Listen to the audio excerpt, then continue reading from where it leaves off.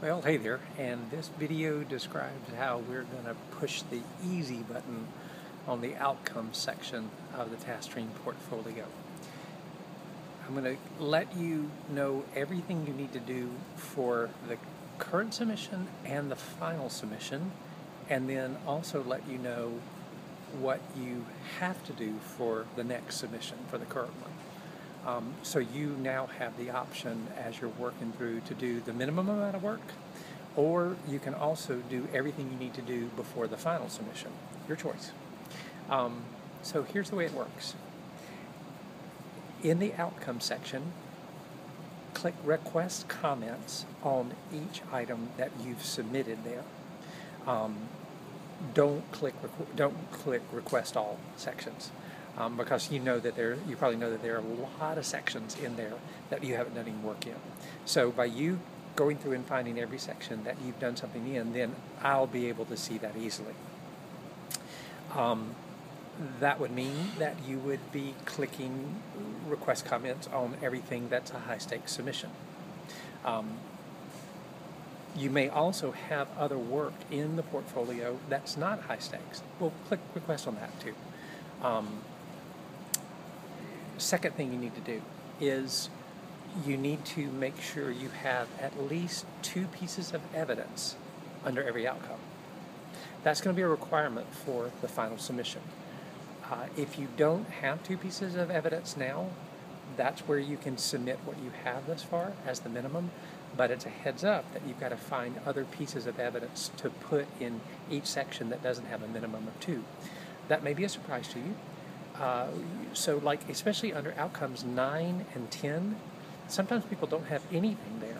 They weren't required to do a high stakes artifact in those sections. But you still have to have two pieces of evidence there. Well, it doesn't, evidence doesn't have to be from coursework, UAB coursework.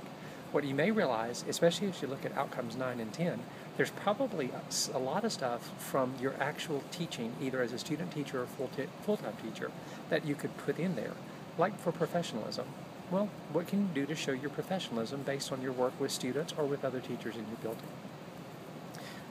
And then the last thing is the My Progress sections.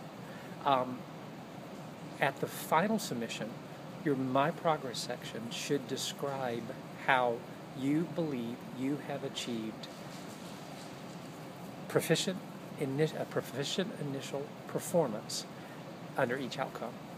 Or you may decide that you are reaching emerging advanced. Either way, you describe the level you believe you've achieved, and then you overview the, the evidence in the section and how it shows that you've reached that level. So, a little bit about the levels. Proficient initial is what we would expect from someone, an undergraduate, who is finishing student teaching successfully. That's a proficient initial performance. So, emerging advance is often a level that fifth year students reach when they are when they have been full-time teaching full-time for a year or more often they reach a higher level. And in TaskStream, did you remember that the rubrics are in there? I think you have to click to see it. But there is a rubric that shows you what emerging advance is and what proficient initial is. So make sure you look at the rubrics as you decide which level you've hit. Keep in mind though, the My Progress sections don't have to be complete until your final submission. But if you want to go ahead and do them now and wrap up each uh, the outcomes, that's fine, and I'll look at them. Last thing, I should have said this before the my progress sections. Last thing is every ent- every entry in the portfolio must have a reflection. So if you look back over your program, you'll probably see that at times when you turned in especially high stakes artifacts, your professors directed you to lock in a reflection. Uh, but you'll also see that there are probably some high stakes artifacts that are locked that don't have a reflection. Well, that's okay. You can't, don't worry about those sections being locked. Just go again to the My Progress section and enter a reflection and then make a note for which artifact it goes with. Faculty are used to the fact that some sections are locked and that to expect to look for reflections in the My Progress section on locked artifacts. I think that's everything you need to know. So the bottom line is every high stakes artifact needs to be in your portfolio, and every outcome has to have a minimum of two pieces of evidence, which can be fulfilled with high stakes or they can be fulfilled with additional um, work that you provide.